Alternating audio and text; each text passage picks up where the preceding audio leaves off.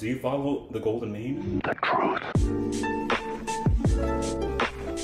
Hey guys, it's me, Grit Misfit, and I'm making a video about Aristotelian thought. And today I'm with a new guy, my buddy Gage. That's good, yeah. We're gonna start this conversation about Aristotle's virtue.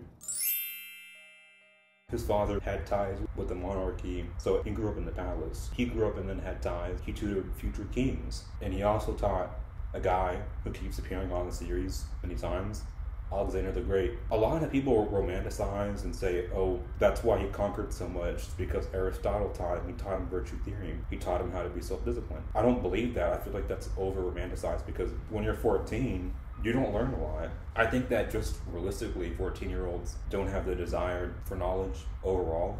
But when you're 14, you don't have that, that type of desire.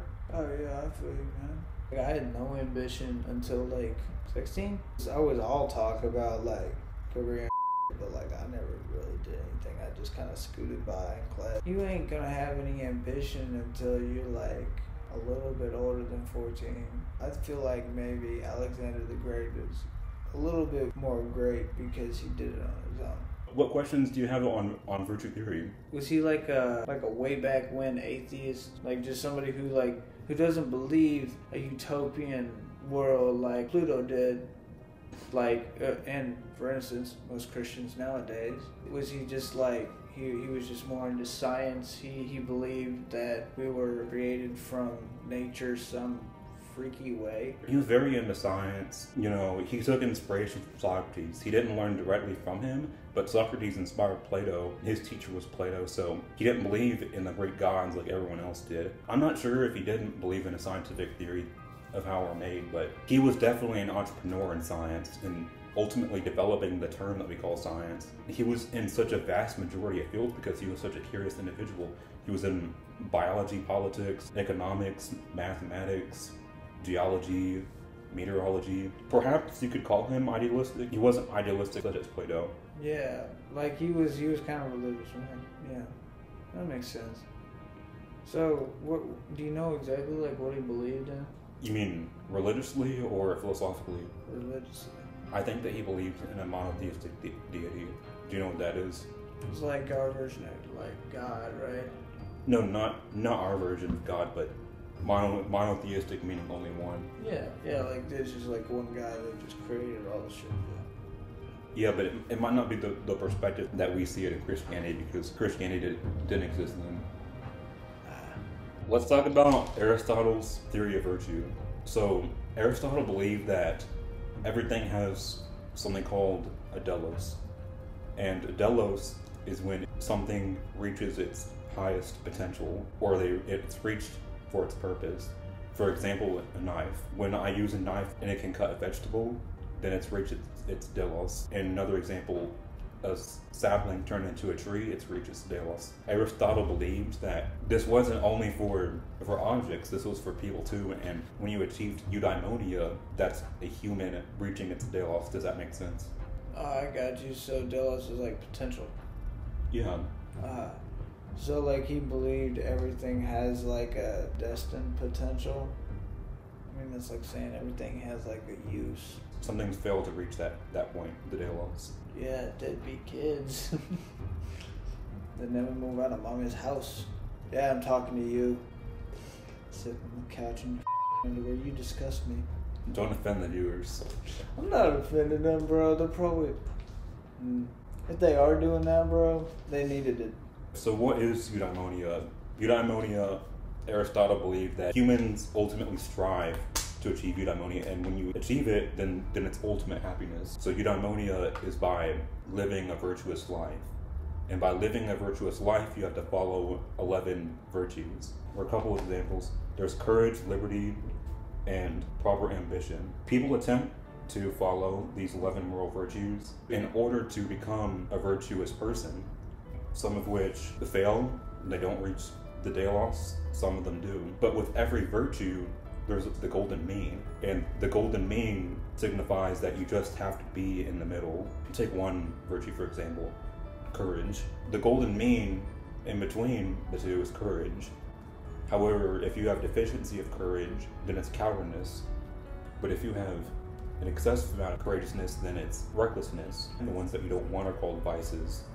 So deficiency is vice, excessiveness is vice. You want to be just in the middle for when anyone strives to achieve all the virtues, does that make sense? But like I mean, honestly, that's like trying to to achieve normal. Like nobody can ever achieve normal. You know what I mean? Like, and you can never achieve like a complete middle balance on everything. So like, do you just have to be perfect to like follow an Aristotle view, bro? Because like everybody's got they gotta work on, bro. I can see your viewpoint, but we must take into account that this was an ancient Greek philosopher who was taught by a guy who made the theory of forms. That is true. Aristotle also believed that self discipline really matters in becoming a virtuous person. If you're not self disciplined and you're always indulging in pleasures, such as playing video games, eating chocolate, if you're not self disciplined, you can't hold yourself accountable to 11 moral virtues. Yeah, it sounds like Aristotle would not like me, dude. You eat chocolate and play video games. Yeah, among other things, he'd think I was a lazy. I feel like this relates to our modern time because I feel like, especially for myself, self discipline is very hard to achieve nowadays. Especially because there's so much dopamine that, that a society has normalized that we get from smoking, playing video games. We want to indulge in those pleasures for the dopamine. Yeah, and the worst thing is, and I'm talking to men and women, but especially the women, bruh, these are not a source of life, bro. They don't need to be on 24 7. When you see that cute guy at the mall, you see that cute girl at the mall, turn your freaking phone off. Stop surfing through whatever the bull crap that you know you ain't reading on. But yeah, I, I totally agree with you. The crap we get from the dopamine and all the stimulation we get from all the technology and just like, bro, we can order food, any food we want now to the house. That's godlike power. We use practical wisdom to decipher and determine the golden mean and the 11 moral values. I feel like he made this just because there's no religion, because this was ancient Greece. I mean, there was a religion, there was the mythical gods, but mythology doesn't give you a very structured moral code. I feel like Aristotle needed to make this for himself, maybe, and, and for people of ancient Greece, because there wasn't a religion, I think, until Christianity came, and that was 300 years later. I got you. And Do you agree?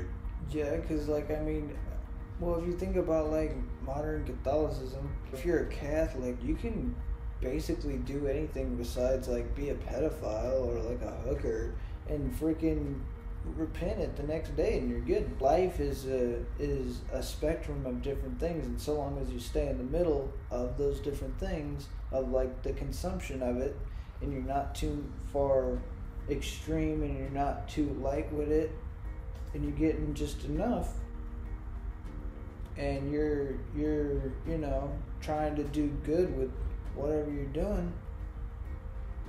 Yeah. Sounds like a pop-up religion that like people would get behind back then. People feel like they need to have a moral code to guide their, their moral compass and not not just rely on, on their own intuition. I also think man like as smart as they were and as much good as they've done for history and humanity they really should have been like more foreseeing about like something their idea of like the perfect person or the perfect is they've done for history and humanity they really should have been like more foreseeing about like some things i don't know like this like their their idea of like the the the perfect person or the perfect like uh, life is just like man like was everybody perfect in greece It seems like they're focused on perfection. Yeah like they're just in different ways you know perfection's cool and all but i mean it's never true perfection Gee, perfection's in the eye of the beholder I agree with you.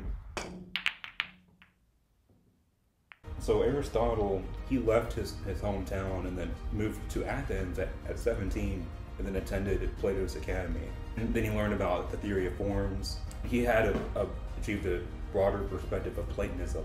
Plato retired and then later he died.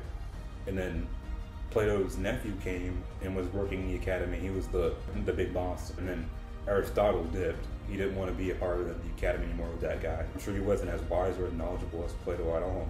He made his own school and it was called the Lyceum. Similar to the academy, although you know, teachings of this, teachings of virtue theory. Later on, it didn't survive as much as Plato's Academy. Plato's Academy survived 900 years, while the Lyceum, it survived a good couple hundreds, but around 100 AD, there was a Roman onslaught. They broke down and, and assaulted the Lyceum. There still remains, of course, it looks like a bunch of crap. If you don't know what theory of forms is, there's going to be a link up here. Go watch the other video with me and Hershey. You'll understand what we're talking about with the theory of forms. Aristotle didn't believe that there is another realm. He believed that there are forms, but he believed that they lied in the physical realm, the material realm. He made the quote that all men by nature desire to know. He said, humans take delight in their senses and learn through sense deception. Plato would heavily disagree with this because Plato argued that humans love to use their senses to understand things. However, we cannot trust our senses and gain knowledge through our senses. When we look at something like like a dog, we see the beauty in it because we're using our eyes. Our eyes cannot register what true beauty is because it's only a part of five senses and are not reliable at all. While Aristotle felt like people are curious just by nature and and they delight in using their senses and using senses is okay. That's a valuable source to depend on as our senses. I heavily agree with Aristotle on what he said. What do you think? I do too, bro. If you smell that smelly dude in class and he stink every day, you learn that he don't shower and you need to stay away from him. That's knowledge coming from your senses. Plato was wrong. Aristotle. Plato believed that forms exist in the theory realm, and shadows, referencing to the allegory of the cave, shadows remind us of the form, while Aristotle believed that forms resided here in the material realm. They still believed in forms and the essence of forms, so they still agreed on that, but they largely differed in using your senses and the theory of forms realm. He made something that's called the four causes, and the four causes is how we're able to identify the essence of something, recognize the material it's made out of, the source and cause, the essence, and the final cause. We've got the formal cause, the definition for the essence of the thing, for example, human, essence of a rational creature, rational primate. Then material cause, what is it made out of? It's made out of skin, blood, and guts. Efficient cause, who made it? Final cause, what is the cause? What is its telos? Aristotle believed that the final cause for humans in the telos was achieving eudaimonia, living a virtuous life. He would use the four causes for anything that, that he was identifying in all of his fields of research. He used this very broadly, not only for humans and metaphysics, but for his large areas. I feel like it's just a different way of like explaining science, anatomy, dreams, like human dreams versus like chasing that job you always wanted or that career you always wanted. It just seems like he was just finding a different way to explain the human experience and why we're here in like a more simplistic way for for his time. You made it layman's terms, which helped out a lot. Just overall, what's your thoughts on, Aristotelianism? He was a little bit cuckoo, but he was a little bit right. I mean, virtue theory can still apply today. Virtue theory is a good idea, but like it's a little bit idealistic. Like the way he simplified the human experience into four categories. That was pretty ahead of his time, really. Was. Well, Gage, today you learned a lot about Aristotelianism. Yeah, I did. Thank you so much for having me, my man.